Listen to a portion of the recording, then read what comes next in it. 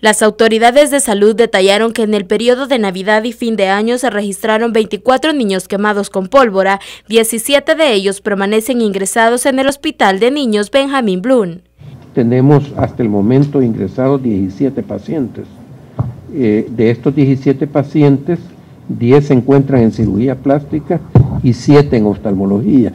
De los 7 ingresados en oftalmología, 5 tienen una úlcera corneal es de, buen pronóstico según lo que nos, ha comunicado el Hospital Bloom y están siendo atendidos. Entonces estos cinco permanecen ingresados, igual que los 10 de cirugía plástica, para un total de 15 pacientes, eh, perdón, 17 pacientes ingresados ahorita en el Hospital Bloom. Ayer teníamos eh, varios de estos pacientes que habían, tenían alta médica, pero no habían sido de alta porque no, no había terminado el proceso de judicialización de los casos debido a que el primero, en la madrugada, no había juez de turno. Jorge Meléndez, director de Protección Civil, detalló que se reportaron 1.077 incidentes. De ellos resultaron 348 personas lesionadas, 37 fallecidos, 520 accidentes de tránsito y 124 incendios.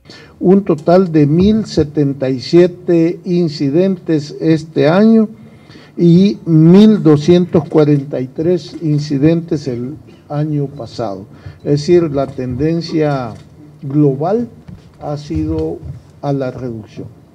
Eh, causas que provocan los accidentes de tránsito, eh, la primera causa de 120 accidentes fue invadir el carril, segunda causa 108 accidentes, distracción del conductor, 71 accidentes no respetar señal de prioridad, 69 accidentes no guardar distancia de seguridad, 40 accidentes por velocidad inadecuada, 21 accidentes estado de ebriedad o droga y 20 accidentes fueron circular en reversa, 19 adelantamiento antirreglamentario y 15 accidentes giro incorrecto. 12 de los accidentes fue imprudencia del peatón. Por su parte, las autoridades de tránsito de la Policía Nacional Civil remarcaron que durante las festividades se detuvo a 153 conductores peligrosos.